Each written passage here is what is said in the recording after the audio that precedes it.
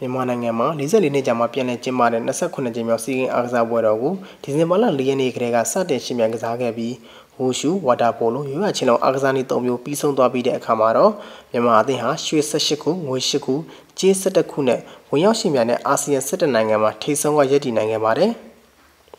အခုဆိုရင်တော့ပြည်သူအများကစိတ်ဝင်စားနေကြတဲ့28ကြိမ်မြောက်စီးကင်းအားကစားပွဲတော်ဖွင့်ပွဲကိုဒီနေ့ဒီဇင်ဘာလ17ရက်နေ့မှာအနေနဲ့ရဲမှာအားပေးသူမိဘပြည်သူများကကြည့်ရှုဖို့အတွက်ရောက်ရှိလာခဲ့ကြပါတယ်။အခုဆိုရင်တော့သူတို့ရဲ့ရင်တွေက28ကြိမ်မြောက်စီးကင်းအားကစားပွဲတော်နဲ့ပတ်သက်တဲ့စကားအသံတွေကိုအခုလိုမျိုးပဲကြားရမှာဖြစ်ပါတယ်။ အဲလာတာတော့ကျွန်တော်မြို့ကလာတော့အဆင်ပြေတယ်ဗျဒီမှာရောက်မှဒုက္ခတွေရောက်တာပဲလက်မှတ်ဝယ်တော့လက်တန်းစီရတယ်ဗျစဉ်းစားကြည့်ဗျကျွန်တော်တို့ကတ်ရဖို့ကိုကျွန်တော်တို့တန်းစီတယ်ဆို45မိနစ်လောက်တန်းစီရတယ်ဗျကွင်းထဲတန်းစီလက်မှတ်ရဖို့ထုတ်တာ45မိနစ်လောက်တော်တော်တန်းစီရတယ်ဩစိတ်ထင်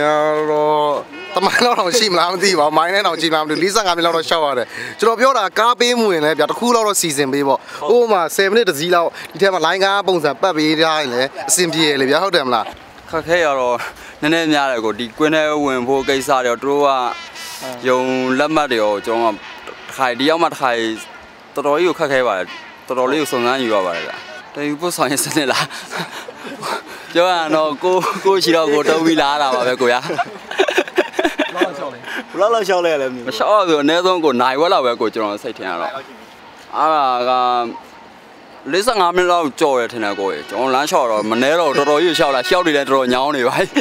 ခက်ခဲတော့ရှိတာပေါ့ခက်ခဲတော့ရှိတာပေါ့ဒါပေမဲ့ပြောပါတယ်တော့လာတာ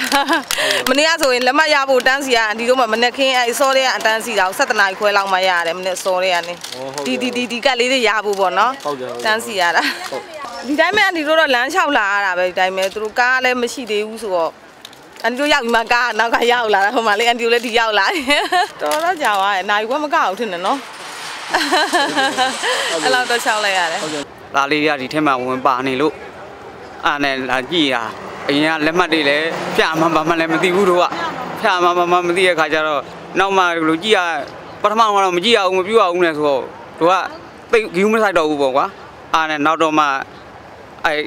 ဒီလိုလက်မှတ်ခိဖြားရဆိုလာဖြတ်တဲ့ခါကျတော့လေတို့ကနားမလဲပါမလဲပေါ့ကွာចောင်းသားမိပါចောင်းသားကလေးတွေကလည်းဘာမှလည်းမပြောဘူးမပြောတော့တို့ကလည်းမသိမသိတော့မှနောက်မှဒီလိုကခိဖြတ်ပြီးတော့မှခုဒီကခိနဲ့တယ်ဆိုတော့တို့ကကြည့်လို့မရတော့ဘူးဒီဝင်ခွင့်ဒီဟာကြီးကိုဝင်ဝင်ခွင့်တာကလက်မှတ်လေရရလို့သာပြောတာဟုတ်ဟိုဟိုဥစ္စာကြီးကိုသက်သာဝင်ပြီးဝင်လက်မှတ်ဖြတ်ပေးပါလို့ဖြတ်ယူပါလို့လည်းမပြောတော့တို့ကမသိဘူးလေအဲ့လိုဖြစ်နေတာကို့အမြမှာလေဝင်မဝင်မမရပါနဲ့ပြန်တော့မှာဒီဒီကွင်းရဲ့ လက်ကြည့်ဖို့တဲ့အဲ့လိုပဲရတယ်လေကတ်တွေတော့အဆင်ပြေတယ်ခင်ဗျာကျွန်တော်ဒီကတ်တွေတော့ဒီကဲလောက်အဆင်ပြေပါ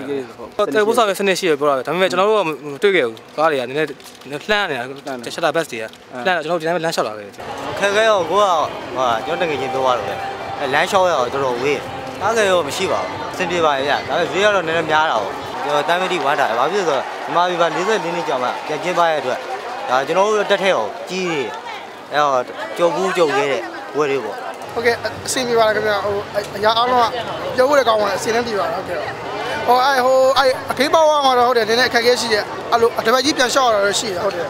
ဘလုံးပြောအဓိကအားပေးရပြီးတော့နောက်ငင်းပြိုင်လာတဲ့အားပေးတယ်အာအပြောပါတဲ့အရန်ပြောပါတယ်ဒီပွဲကိုကြည့်ရင်လုံးအရန်ကောင်းနေပြီးတော့တကူတကလာရတဲ့အရန်ကိုကျက်ပါတယ်ကိုရင်ပါတယ်ဟုတ်ကဲ့လက်မကတော့အဲအစာပန်းတော့အဆင်ပြေပါနောက်ပိုင်းကျတော့နည်းနည်း အဲ့လိုဝဲလူများလာတော့ကြက်တယ်ခင်ဗျအရင်ခက်ခဲပါတယ်လက်မတော်တော့မရှိပါဘူးသူဈေးကတော့တောက်ပါပါတယ်ခင်ဗျအရင်9000နေပြီးတော့9000တောက်ပါပါတယ်လက်မကတော့ဟိုအခက်ခဲကတော့အဝင်ထွက်ရတာနည်းနည်းခက်ခဲတယ်ပြီးတော့လက်မဝဲရတယ်နည်းနည်းအခက်ခဲရှိပါတယ်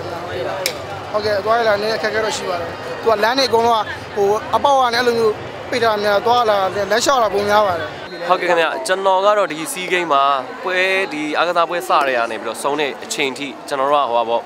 အာ top ပေါ့နော်ဟိုစုတစိတ်ပဲချင်းဘယ်နှစ်ခုရခဲ့ပြီလဲဆိုတော့၎င်းဒါမှမဟုတ်ဘယ်အားကစားမှာဘယ်အဲဘယ်အားကစားမှာရွှေတွေရခဲ့ပြီဆိုတဲ့ကောင်းတွေကိုကျွန်တော်တို့ကဒီ MRTV နဲ့တွဲပြီးတော့ကျွန်တော်တို့ announcer နေနဲ့ကျွန်တော်လုပ်ပါတယ်ပြီးတဲ့ခါကျတော့ဘောလုံးပွဲမစတင်ခဲ့မှာတော့၎င်းဘောလုံးပွဲစတဲ့အလဲပိုင်းမှာတော့၎င်းကျွန်တော်တို့ဒီ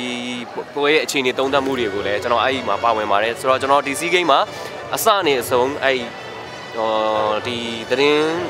ပြောကြားတဲ့နေရာတွေကျွန်တော်တာဝန်ယူပြီးတော့ဆောင်ရွက်ပေးနေပါတယ် ကျွန်တော်တို့အကုန်လုံးအားပေးပါတယ်ခင်ဗျာဒါပေမဲ့ကျွန်တော်ကိုယ်တိုင်စိတ်ဝင်စားကစားခဲ့တဲ့ဘောလုံးအားကစားနည်းကိုတော့ကျွန်တော်ဟုတ်အားပဲအာယုံကြည်မှုရှိတယ်ကိုကျွန်တော်အားလုံးရွှေပဲဟုတ်ဟုတ်စိတ်ဓာတ်ကတော့အမြင့်ဆုံးပါပဲဟောမရှိပါဘူးခင်ဗျကျွန်တော်တို့အားလုံးသွားလာအကုန်အဆင်ပြေတာပဲကျွန်တော်အလုပ်လုပ်ရတယ်အဆင်ပြေတာပဲဟုတ်ပြီးတော့ကျွန်တော်ဒီစီးကိန်းမှာလာပြီးကျွန်တော်အခုချိန်ဒီလုပ်နေတာလေကျွန်တော်ရိုက်ကူးရေးတော့၎င်းတချင်းအခွေတော့၎င်းအခုအစီအစဉ်တော့၎င်းကျွန်တော်တို့က volunteer ပါပဲခင်ဗျအဲ့အတွက် အခက်အခဲလည်းမရှိသလိုပျော်လဲပျော်တယ်ကြီးလဲကြီးနေလို့ခင်ဗျမြန်မာနိုင်ငံမှာရှိတဲ့မြန်မာသူ